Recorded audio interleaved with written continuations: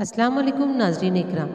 मैं डॉक्टर नसरीन सुल्ताना, सैयद जलालुद्दीन आपके सामने हाजिर हूँ एक नई वीडियो के साथ। उर्दू मजमून में ख़त तहरीरी महारत का अहम जुज़ माना जाता है।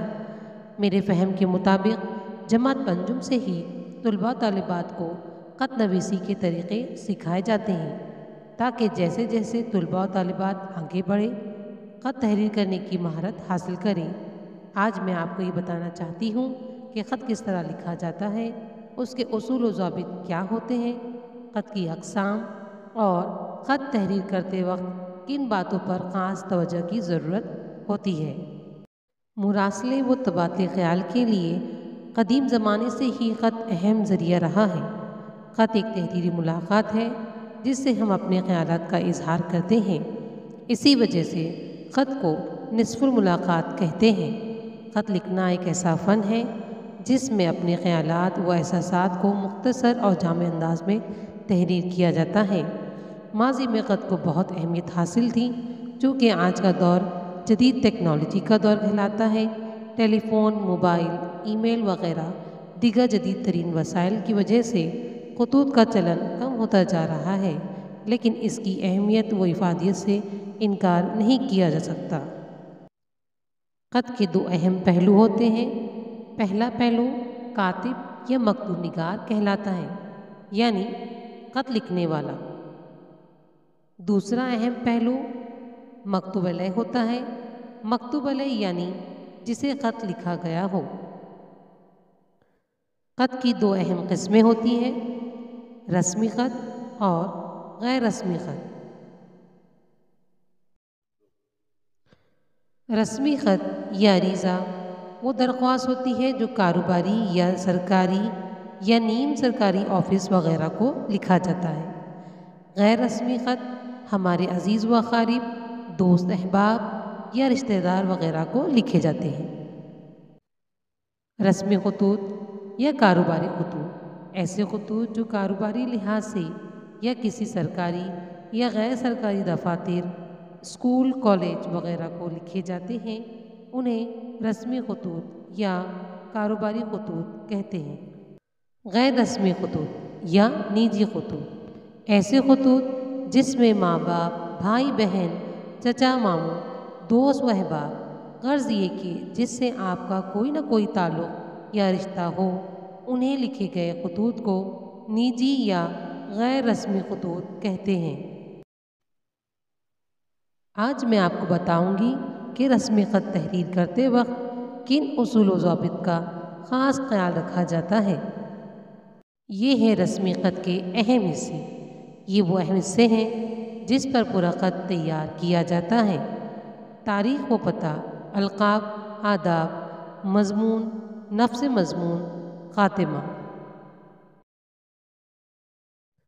जमात दहम के पर्चे में ख़त लिखने पर पाँच निशानात दिए जाते हैं। इन निशानात को ख़त के अहम जुज़ की बुनियाद पर जांचा जाता है। पहला जुज़, तारीख़ व पता, इसे लिखने पर एक नंबर दिया जाता है। ख़त के शुरू में, ख़त के दाएँ तरफ़ एक कोने में मुख्तसर पता और तारीख़ लिखना ज़रूरी होता है। पहले जुज़ को किस तरह ख़त में तहरीर किया जाता है, तीर के निशान के ज़रिए इस ख़त में ज़ाहिर किया गया है। ख़त का दूसरा जुज़ मजमून या मौजू कहलाता है। ख़त जिस मकसद के तहत लिखा जा रहा हो, उसे मुख्तसरा तहरीर करना मजमून कहलाता है।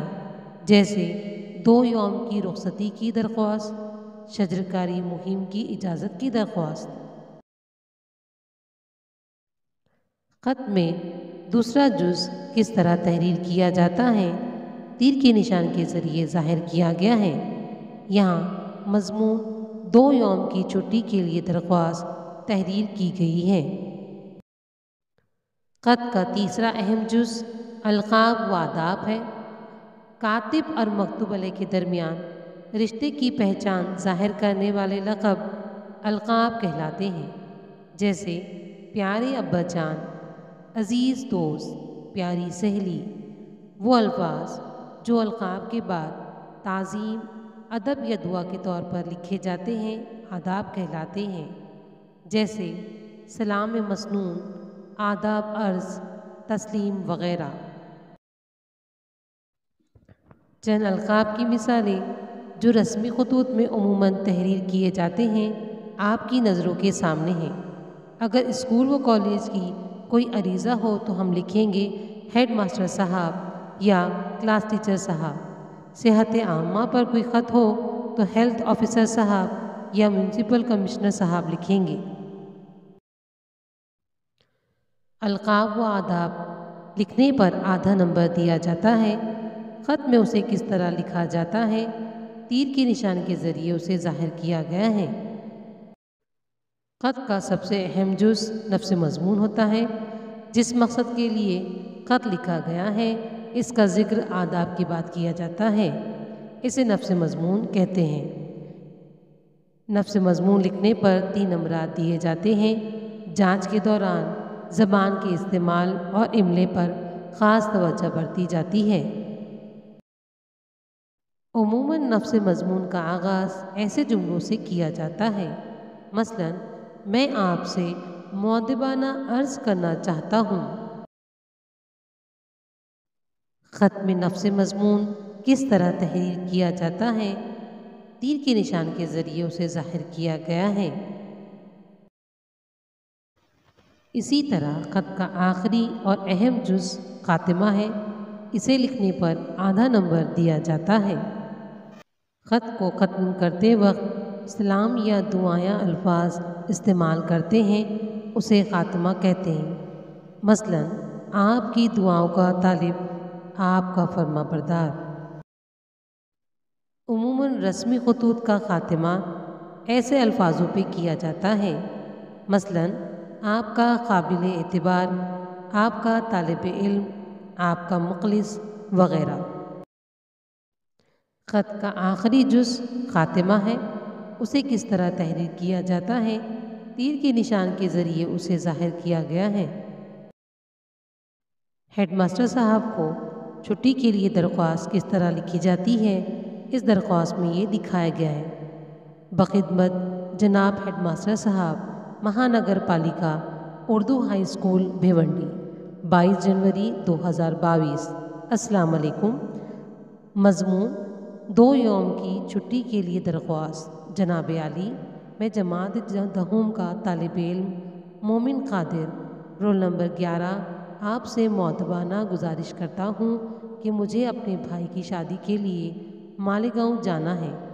मेरी वापसी दो रोज़ के बाद होगी।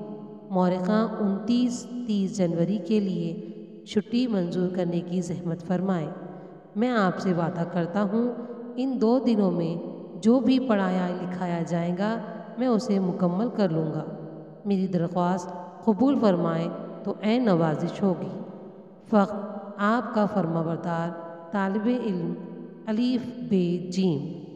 ख़त के पाँच अहम हिस्सों पर किस तरह ख़त तैयार किया जाता है, इसकी वजाहत यहाँ की गई। अगर आपको कुछ समझ में ना आए तो कमेंट बॉक्स में मैसेज सेंड कर सकते हैं। मज़ीद वजाहत के लिए ये खाका आपके पेश नज़र है। इसे आपको जहन में रखते हुए अपना ख़त तहरीर करना है। रस्मी ख़त की एक और मिसाल आपके सामने हाजिर है, ताकि आपके इल्म में मज़ीद इजाफ़ा हो जाए। हमारी आने वाली नई वीडियो गैर रस्मी ख़त पर मबनी है। इसे आप ज़रूर देखिए। इन अगली वीडियो के साथ जल्द मुलाकात होगी। जजाकल्ला खुदाफिज़।